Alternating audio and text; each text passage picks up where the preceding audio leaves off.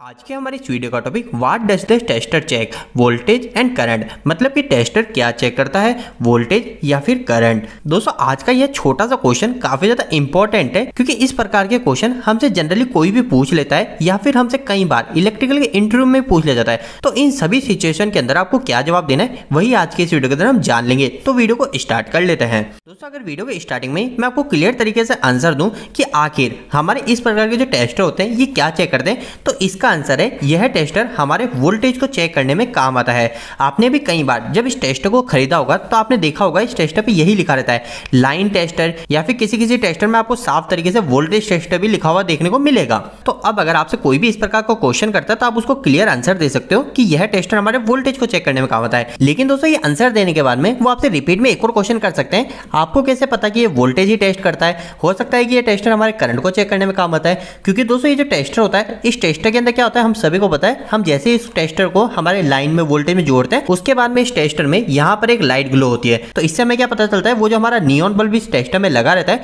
वो हमारा neon bulb start हो चुका है और अगर हमारा बल्ब वो स्टार्ट हुआ तो कुछ ना कुछ मात्रा में करंट ले रहा होगा। तो इस तरीके का क्वेश्चन करके वो आपको ये भी बोल सकते हैं कि ये हमारा टेस्टर जो है, ये टेस्टर हमारे करंट को चेक करने में काम आता है। तो दोस्तों, इसका सिंपल सा आंसर तो वही है कि हमारा जो टेस्टर ये वोल्टेज टेस्टर ही कहलाता है। इसके अलावा आपने और भी कई बार देखा होगा कि हमारे नॉन कॉन्टेक्ट टेस्टर भी आते हैं। अब जो नॉन टेस्टर आते हैं, उसके अंदर क्या होता है, उसके अंदर हमारा जो टेस्टर है, इस टेस्टर को मुझे यहाँ पे सप्लाई के साथ में टच नहीं कराना होता है। मैं इस टेस्टर को दूर ही रखूँगा ना, जैसे कि मान लीजिए कि हमारा एक वायर है, इस वायर पर अगर मैं टेस्टर को दूर ले जाके भी रख दूँगा तो भी हमारा जो टेस्टर है वो बता देगा कि हमारे इस वायर में सप्लाई है या नहीं। तो दोस्तों, वह जो नॉन कॉन्टेक्ट टेस्टर आते हैं, वह टेस्टर भी हमारे वोल्टेज को ही चेक करने काम आते हैं। तो आपको इसी बात का ध्यान रखना है कि हमारे जो ये सभी टेस्टर है, ये टेस्टर हमारे वोल्टेज टेस्टर ही है। तो दोस्तों, उम्मीद है कि आज का ये छोटा सा वीडियो आपके लिए कुछ बेहतर साबित हुआ होगा। दोस्तों, अगर आप इसी प्रकार की और भी नॉलेज इलेक्ट्रिकल की हिंदी में लेना चाहते हैं तो आप हमारी वेबसाइट जाकर जुड़ सकते हैं।